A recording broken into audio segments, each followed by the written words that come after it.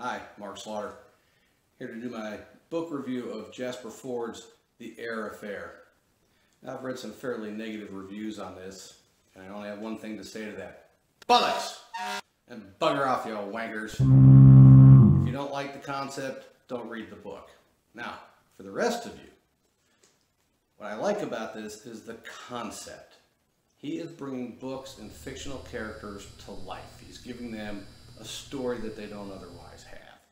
So his main character in here, Thursday Next, she fought in the Crimean War, which has been raging for 135 years between Britain and Russia, which is a little bit strange if you know anything about the Crimean War. She was a police officer, and then she ended up in Special Operations.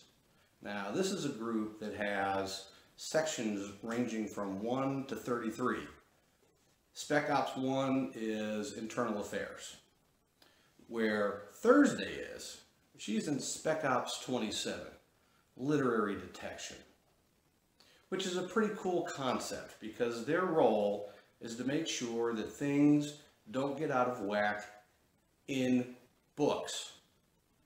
So they pay attention to the characters, they're looking for forgers, they're looking for people who can get into the book magically somehow and rearrange the plot, change the characters, change what they do. So this is where we start in Jasper's book. And at one point, Thursday gets called to work with Spec Ops 5 on a stakeout. And the reason that she's wanted is because she is the only person they know of who knows what the bad guy, Acheron Hades, looks like. So she goes on a stakeout with SO5. Now the problem with Acheron is that if you're too close and even whisper his name, he can hear it. He can move in and out of books. He can do a little bit of time travel. He can mess with your mind. So she goes on the stakeout and it doesn't go so well. So we then find her in the hospital recuperating. Of course, SO1, Internal Affairs, and everybody else doesn't believe her story. They all think Acheron's dead. She's laying in her hospital bed and all of a sudden this car magically appears in her hospital room. And there's a woman and a guy in the car, and the woman is screaming at Thursday saying, He didn't die. He's still alive. Take the job in Swindon. Now, at this point in the book, Thursday is still in London. So she decides, you know what? I'm going to go back to Swindon. It's where she's from, it's where her family is. So the story takes her back there. She's going to take a SO27 position in Swindon. One of the great parts of this book is when she gets back home. Now, Dad was in one of the other Spec Ops sections, and they are time travelers. And he was eradicated by the Chrono Guard because they considered him a rogue operative. So Dad kind of pops in and out of the story at weird times. Um, it's a little bit annoying, but I'm going to give Jasper some leeway because I don't know what's coming in the next books. I suspect that Dad will probably be in subsequent stories. So she gets home, Mom's there, her Aunt Polly, and her Uncle Mycroft. Mycroft is just an eccentric genius. So he's a really cool character. At one point, he has developed what he's called a prose portal, which allows you to use his portal and go into a piece of literature. And he actually does that with his wife, Polly. Well, at one point, Acheron and his henchmen steal a character out of a Dickens novel. Not only do they kidnap this character, they kill the character.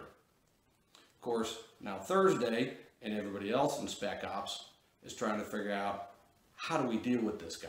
How are we going to get hold of Acheron when he knows when we're coming. How do we do this? And one of the things that Jasper does in here is a lot of wordplay. And some of the stories, if you've never read them, uh, you might not recognize the character. But for example, uh, there's a global corporation which at this point is pretty much running England called the Goliath Corporation. And one of their staff people who is involved in weapons uh, his name is Jack Schitt. Okay, that's kind of fine.